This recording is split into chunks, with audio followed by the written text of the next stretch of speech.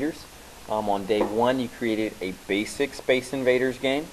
On day two, we actually updated a lot of different things. So we added a background to our canvas, our world. We also aligned all of our buttons in a horizontal arrangement. We have our score and we have our score there. We also added this image, which is now our ammunition. And if we miss the spaceship, um, the the ammunition actually goes down. You only have six bullets, and then the game is over. We also added our normal Gant Tech logo and our Ronald Reagan Doral logo. So the game still works. We just made it visually um, more appealing. So if I shoot, and I'm actually going to miss, you can see it went down to, I have five bullets left.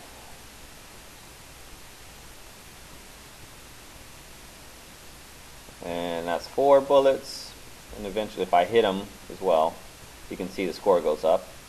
But if I miss, I'm trying to miss intentionally, you'll see it goes down to 3,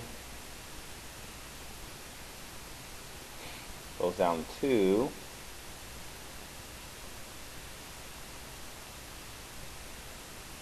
goes down to 1,